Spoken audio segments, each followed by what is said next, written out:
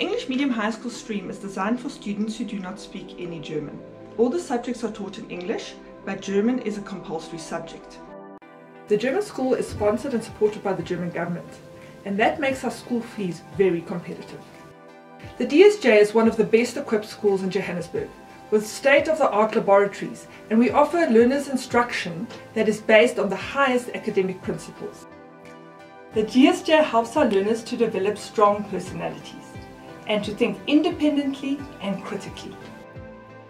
We welcome anyone wanting to learn German and who is interested in the German culture and wanting an education that is fit for the modern international world.